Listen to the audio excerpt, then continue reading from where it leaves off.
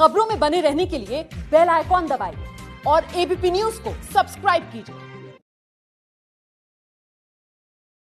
विकास भदौरिया की ये रिपोर्ट देखते हैं कि किस तरीके से पूरे बनारस को नरेंद्र मोदी के पोस्टरों से बीजेपी के पोस्टरों से पाट दिया गया है।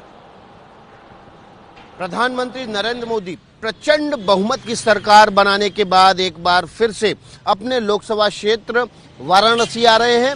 चुनाव जीत दर्ज करने के बाद उनकी ये पहली यात्रा है और इसलिए यहाँ वाराणसी में होर्डिंग पोस्टर लगाए गए हैं। धन्यवाद काशी के और प्रधानमंत्री नरेंद्र मोदी का काशी में स्वागत है।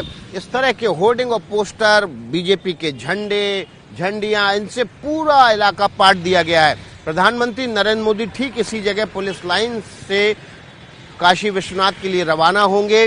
कोई रोड शो नहीं है, लेकिन पब्लिक और कार्यकर्ता उनके स्वागत के लिए आतुर हैं, इसलिए तकरीबन रोड शो जैसा ही माहौल देखने को मिलेगा। यह अघोषित रोड शो होगा, प्रधानमंत्री नरेंद्र मोदी काशी की जनता के धन, का धन्यवाद करने आ रहे हैं और काशी की जनता उनका अभिवादन करने के लिए सड़कों पर उतरने के लिए आतुर है। प्रधान